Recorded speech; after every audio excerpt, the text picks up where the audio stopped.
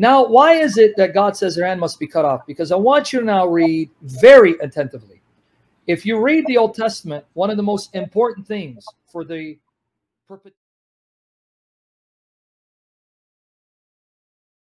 no, no. The thing is, these laws that we find here are, according to you, laws that God ordained for the people of Israel, right?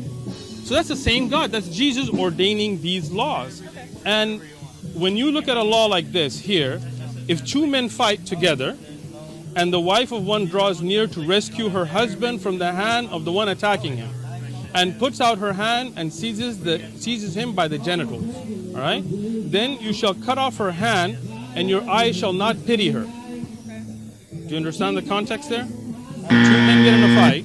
The wife of one tries to help her husband you have to cut off her hand and you can't pity her. You think that's just? That was the law. That so was, you think that's that justice? Was, that was the rule for them in their and time. So Jesus ordained that law.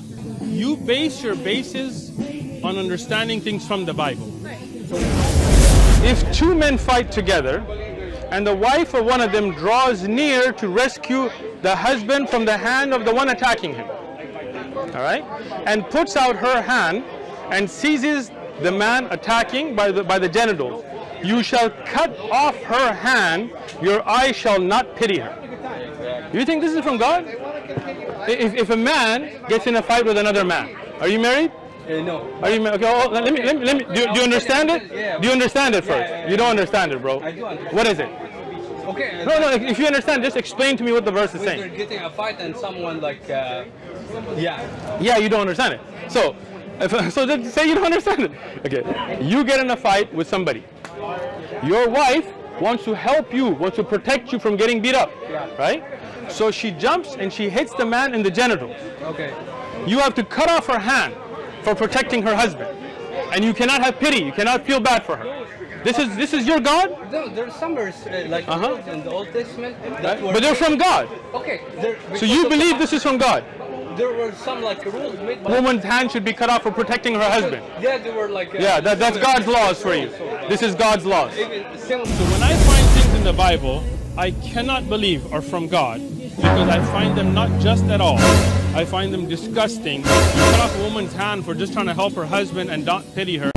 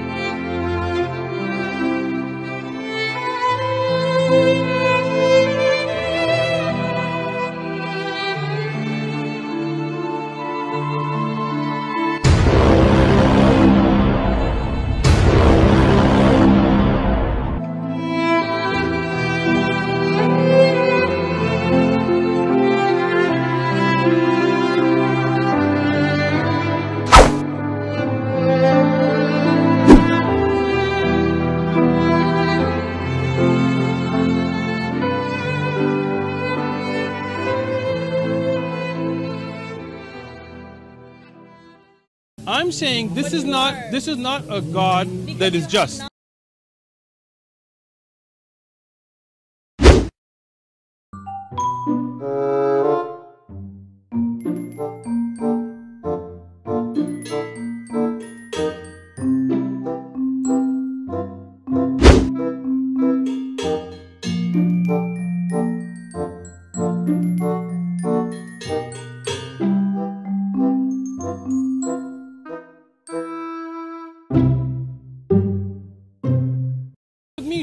I don't want to nitpick your religion. I'm not I'm not nitpicking. I'm saying this is not are. this is not a God Because that is just. Not read the entire I have. Oh, again, you just you assume something about me, right?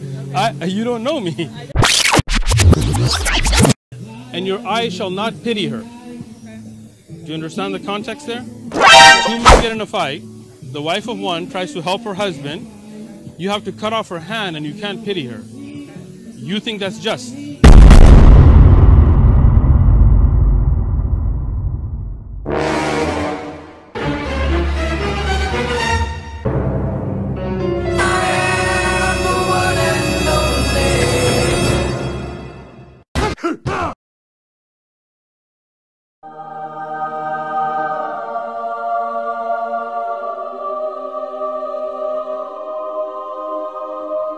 You- But you're seeing the pattern I was saying earlier. You see how all is pointing to Jesus?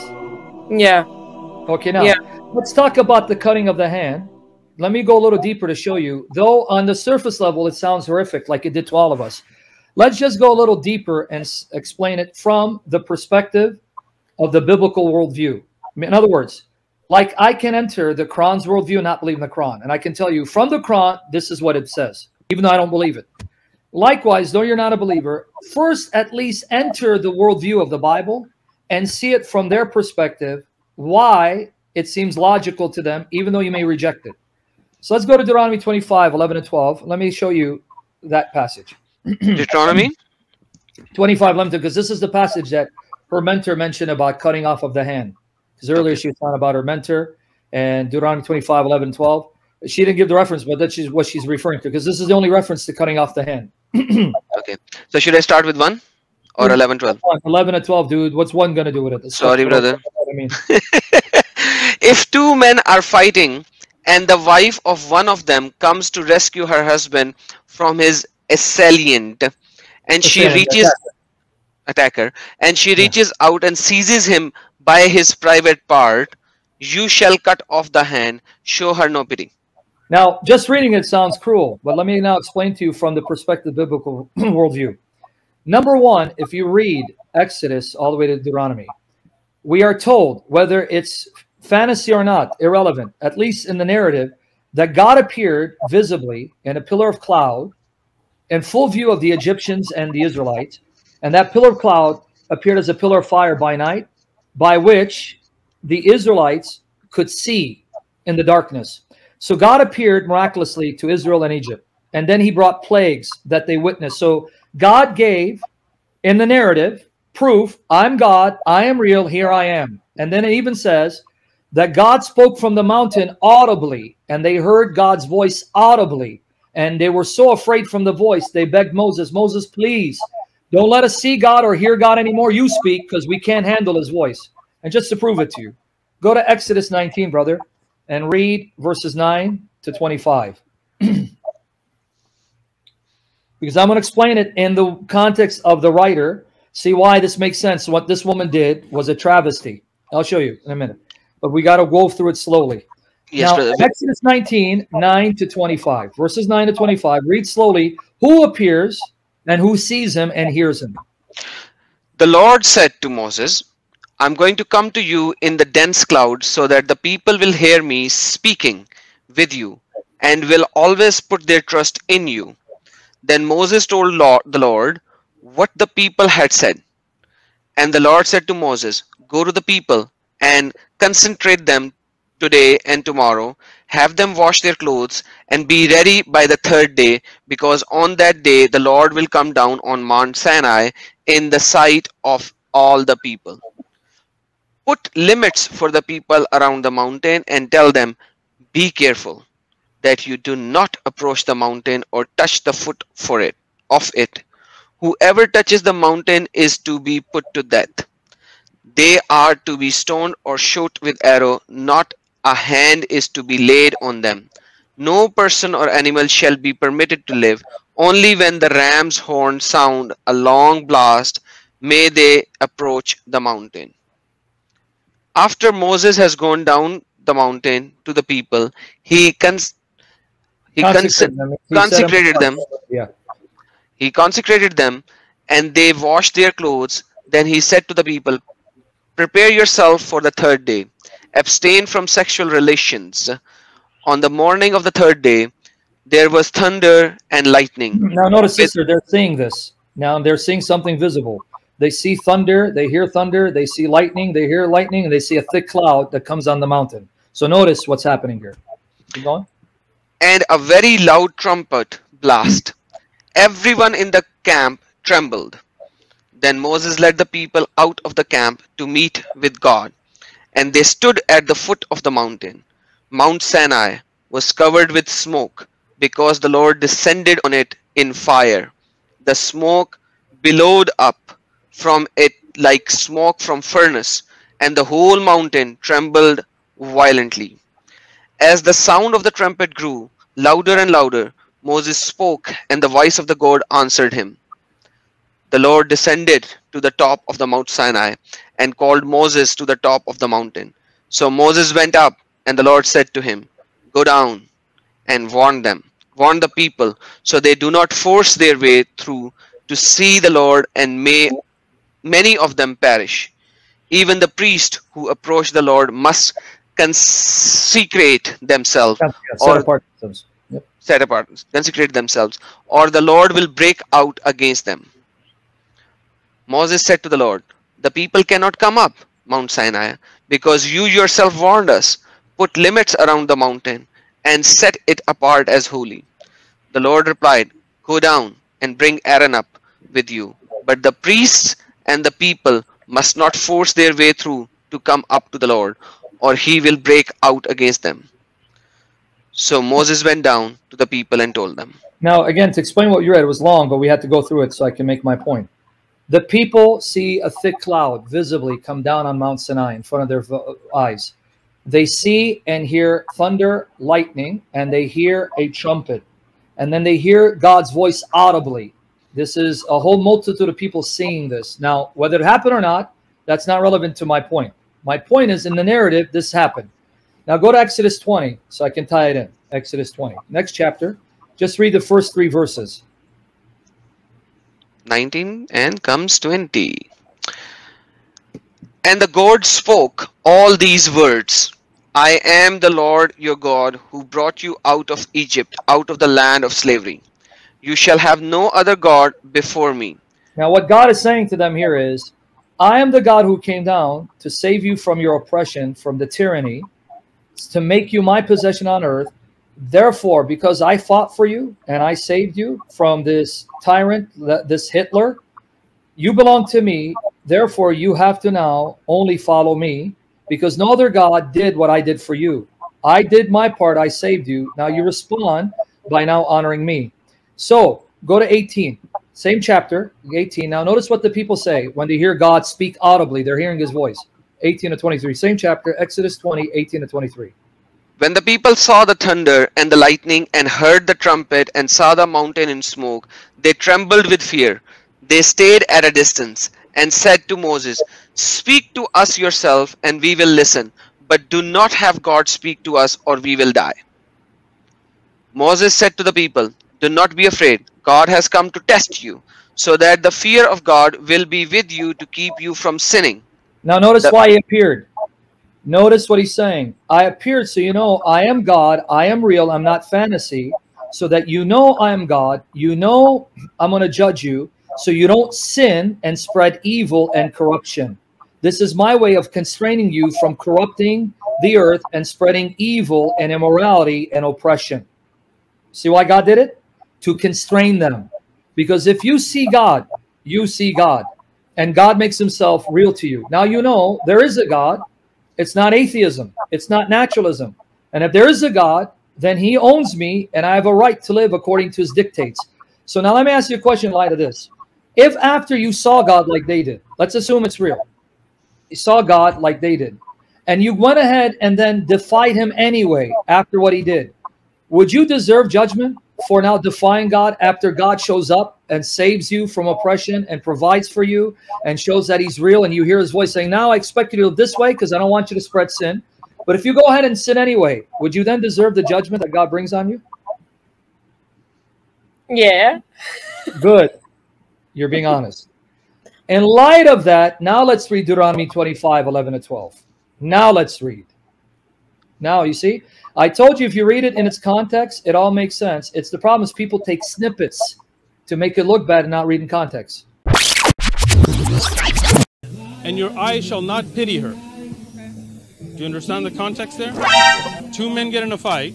The wife of one tries to help her husband. You have to cut off her hand and you can't pity her. You think that's just. Right? And puts out her hand and seizes the man attacking by the, by the genitals. You shall cut off her hand, your eye shall not pity her. Do you think this is from God? If, if a man gets in a fight with another man, are you married? Uh, no. Are you? Okay, oh, let me, let me, let me, do, do you understand it? Yeah. Do you understand it first? You don't understand it, bro. I do understand. What is it? Okay. No, no, if you understand, just explain to me what the verse is saying. I told you if you read it in its context, it all makes sense. It's the problem is people take snippets to make it look bad and not read in context. So I read the way, context. Ex- Exodus came first. FYI. Deuteronomy 25, 11 and 12. Now, God has shown himself to his people. They've heard his voice. They've seen the cloud. He's now proven to them, I am real. Therefore, here's the do's and don'ts.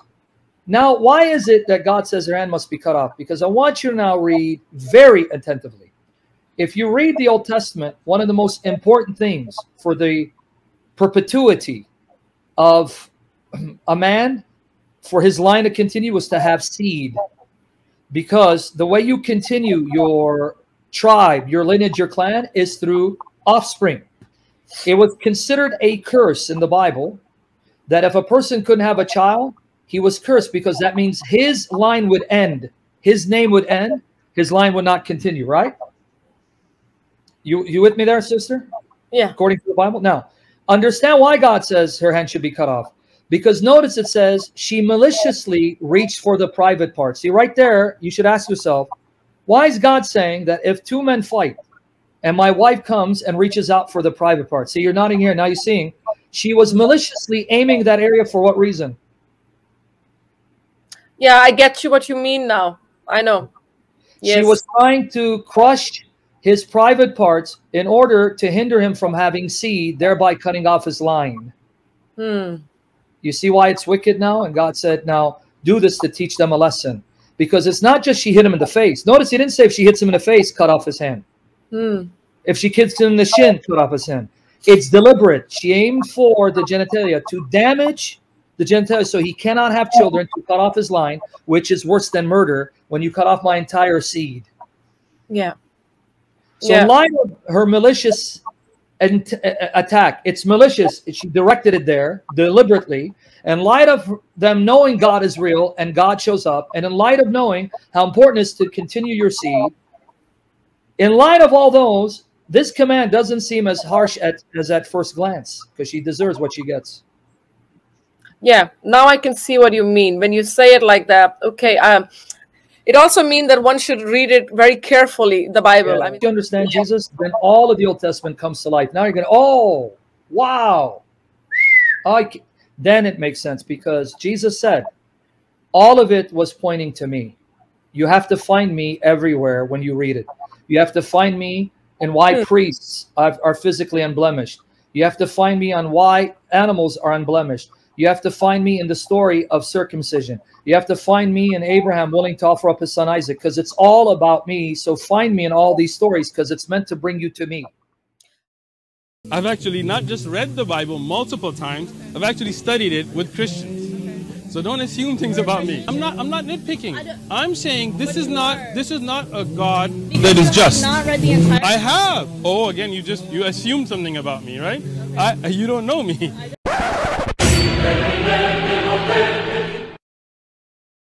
Has uh, Sirach, has Baruch, has the first Maccabees, has the second Maccabees, has chapter 10 through 16 of Esther, 324 through 90, Daniel 13, the story uh, of uh, and Daniel Susannaha.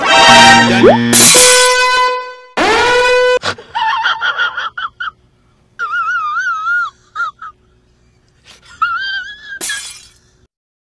Now, is Solomon also the son of God? If we go through the Bible, the book of Psalms, in the book Psalms 2, You know what? I learned something from this man. I did not know that God had revealed the book of Palms. Do you guys know that? I just learned something from him. God revealed the book of Palms along with the book of Psalms. Okay? I really am thankful for this man. I did not know there was extra revelation that he discovered inspired by God called the book of Palms. I knew about Psalms, but I didn't know about Palms. Next, we're going to learn that God also inspired the book of heels, the book of shins, the book of toes, the book of fingers, the book of nostrils. Amazing. What would Christianity do without Uthman Farooq? Yeah, armpits too, yeah. What would Christianity do without Uthman Farooq? Informing us that God revealed the book of Palms along with Psalms. Keep that in mind. I'm not. I'm not nitpicking. I don't- I'm saying this is not. are. This is not a God Because that you is have just. Not read the entire. I have. Oh, again, you just you assumed something about me, right? I you don't know me.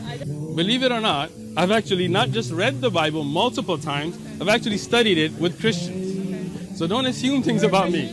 I, I, I used to be amongst Christians. I'm not saying I was a Christian, but I was raised amongst all my friends were Christian. None of them were Muslim, and I used to go to Bible studies twice a week. Were you a Muslim then? No. My, my family was Muslim, but I but they were all secularists, right? I had a base belief of being a Muslim, but I didn't pray five times a day. I didn't I didn't practice. So I was open. So I, I didn't used to go to a mosque. I used to go to a church. And I studied this Bible cover to cover in a Wednesday youth group Horizon. You know where Horizon's at? Off of Balboa and Genesee.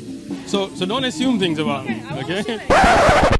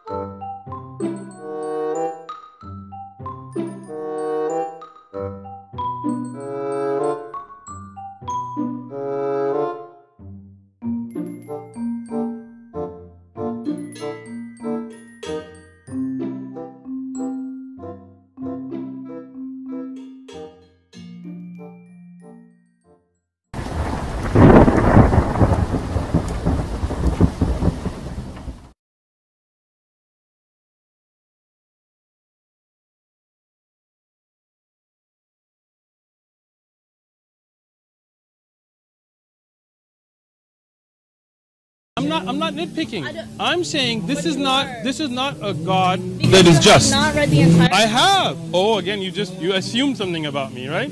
I you don't know me. Believe it or not, I've actually not just read the Bible multiple times. I've actually studied it with Christians. So don't assume things about me.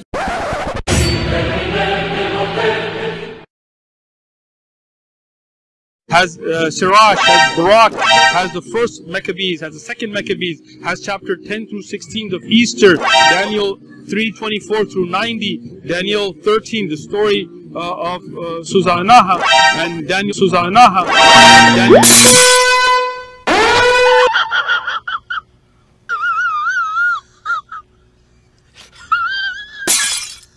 Believe it or not, I've actually not just read the Bible multiple times, I've actually studied it with Christians. So don't assume things about me. I, I, I used to be amongst Christians. I'm not saying I was a Christian, but I was raised amongst all my friends were Christian. None of them were Muslim. And I do Bible studies twice a week. Were you a Muslim then? No. My, my family was Muslim, but I but they were all secularists, right? I had a base belief of being a Muslim, but I didn't pray five times a day. I didn't I didn't practice. So I was open. So I, I didn't used to go to a mosque, I used to go to a church. And I and I studied this Bible cover to cover. Wallah, you're a crook. You are a crook. You are a crook. And you are a fraudster. And we will call every each and every single one of you out. Wallahi, we will call you out and we will catch you. Because part of our da'wah is not just to find the disbelievers, the disbelievers who are there. The enemy is disbelievers, but also to find the munafiqun of the ummah that they're creeping around pretending to be Muslims. You're finished. You're finished. You're finished. You're finished. Wallahi, you're finished. Wallahi, you're finished. Believe it or not, I've actually not just read the Bible multiple times, I've actually studied it with Christians. Don't ever come out. Any any retraction you do now, switch off your social media. I don't want to see your face. I don't want to hear your voice. Wallahi, wallahi, you're a crook and a fraudster. What the hell is this? A'udhu billah. We have seen the evidence. You cannot escape anymore. You're finished. A'udhu billah. Everyone will unfollow you now. You're out of a job, boy. You're out of a job, boy. You're out of a job, boy.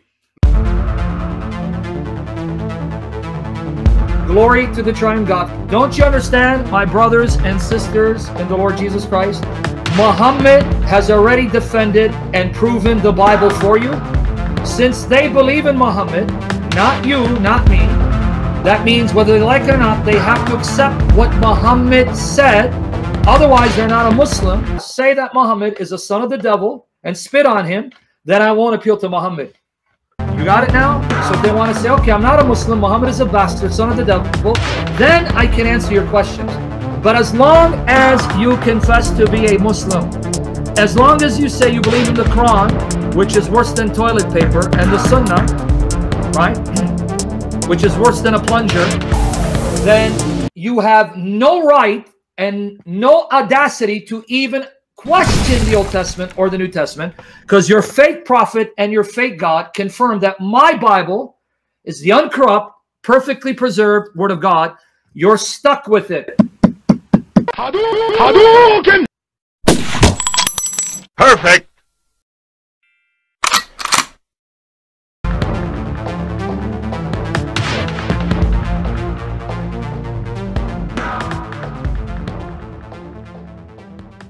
Right? And puts out her hand and seizes the man attacking by the, by the genitals. You shall cut off her hand, your eye shall not pity her. You think this is from God? Became Become a human. Muslim. He became a human. Ashhadu? No, no. Come on, bro. He became a human. Don't be don't be just stubborn because you want to be stubborn. Jesus like May Allah guide you. No, like uh, about like. May Allah not guide you? Well, he, he guides and misguides. yeah, may Allah guide you. I'm making dua for you. Like say Ameen. Huh? Did you say may Allah misguide me? You say like uh, God and misguide and God. I'm saying may Allah guide you. Say Ameen.